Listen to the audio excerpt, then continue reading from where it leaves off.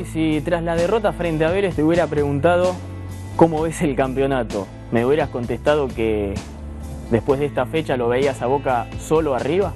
Y nosotros estábamos bien, estábamos convencidos de que haciendo un buen papel acá en Tucumán yo creo que, que las cosas iban a mejorar. Eh, fue un partido raro, eh, donde tuvimos chance para, para poder ganarlo, pero bueno, eh, las cosas no salieron como, como quisieron, pero bueno, ya por suerte ahora estamos, estamos bien. Sabían que había perdido San Lorenzo, pero no sabían cómo iba Tigre. ¿En qué momento se enteran que, que quedan solos ahí arriba? Cuando terminó el partido, viene el profe a decirnos de que, de que iba perdiendo 2 a 0 y, y bueno, la alegría la verdad que fue doble. Ahora se vienen tres fechas fundamentales pensando en que solo depende de Boca o teniendo en cuenta también qué rival hay enfrente? No, no pensando solo en Boca ahora. Eh, como también veníamos haciendo, nosotros siempre pensamos que, que, para estar ahí arriba teníamos que ganar nosotros.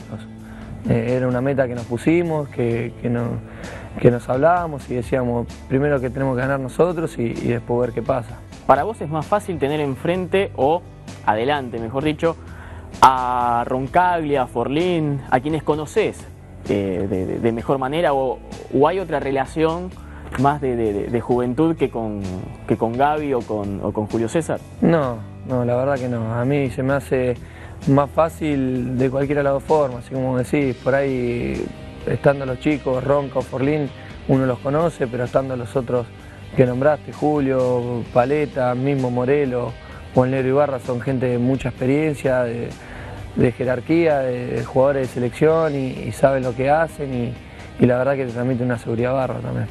Un amigo como tenés dentro del plantel, como lo es Rodrigo Palacio, eh, va a quedar afuera, ¿eso se siente? ¿Qué se le dice? Y la verdad que estamos perdiendo una, pieza muy clave, una, pieza clave, ¿no? Yo creo que Rodrigo la verdad que es un jugador diferente, donde bueno, eh, la lesión esta lo, tuvo afuera, pero, la verdad que, se siente mucho. ¿Es cierto que no le podés ganar a la PlayStation? No, no que no le voy a poder ganar, lo, mato con el Manchester. ¿Quién es el...? ¿Hay una paternidad o, a veces gana? No, jugamos poco, jugamos poco, pero nada, aparte yo soy mal, yo lo cargo, pero cada vez que voy por algún partido que otro le gano. ¿Y él se destaca por qué? ¿A quién elige él? Al Barça. No, todos eligen al Barça. Yo doy, ¿cómo es que se llama? doy cátedra con el Manchester. Desde que estás en el arco de Boca, ¿te cambió la vida? Trato de que no.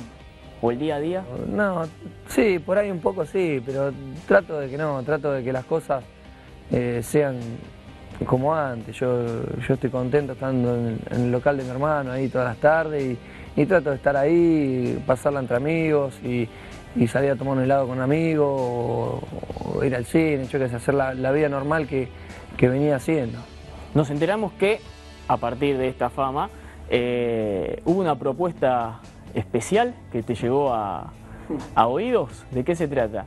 No, te, aparecen cosas locas. Estaba tranquilo y, me llaman de una productora para, para Playboy diciéndome, preguntándome una cosa que la verdad que me pareció raro, porque vos decís Playboy es una revista de mujeres, vos decís...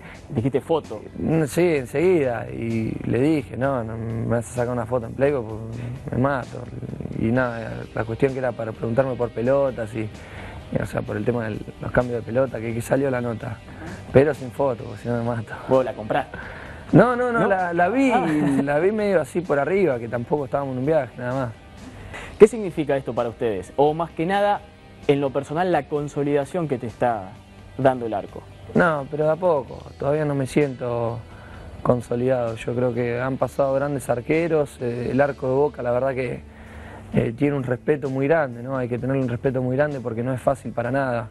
Y más yo que por ahí tengo 21 años y recién estoy haciendo mis primeras armas en el arco de Boca. Ojalá que, que siga teniendo la continuidad para, para bueno, eh, seguir demostrando y, tratar de demostrar de que puedo, o sea, seguir cumpliendo un sueño que vengo, que vengo teniendo.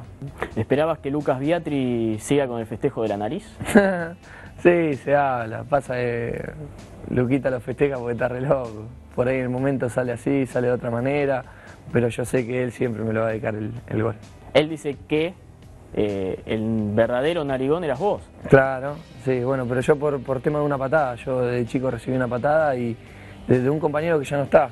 eh, y bueno, y me la tuvieron que operar, por eso me carga. Y a partir de ahí, la cargada pasó a... La cargada pasó para Luquita, sí.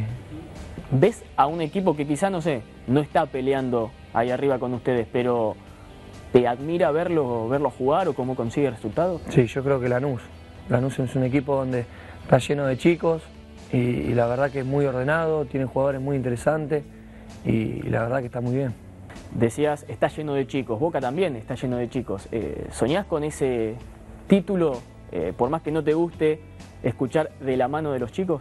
Sí, sí, la verdad que como vos decís, no me gusta escucharlo de la mano de los chicos porque sería muy injusto para los grandes que están, ¿no? Sería faltar respeto por ahí. Eh, la vez que las cosas no salen bien para los chicos, siempre hay un grande dando la cara. Lo tenés a un Batalla hablando, lo tenés a un Riquelme hablando, lo tenés a un Ibarra hablando. Y yo creo que eso a nosotros nos hace estar mucho mejor, o sea, de, de lo que podemos llegar a estar.